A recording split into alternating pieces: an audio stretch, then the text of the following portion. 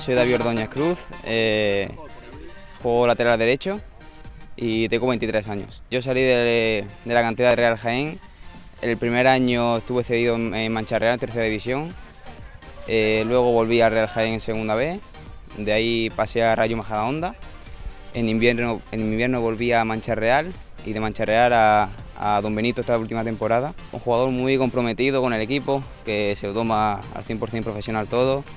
Eh, como, como, lateral derecho creo que tengo bastante proyección eh, ofensiva y, defensivamente me considero muy, muy sacrificado.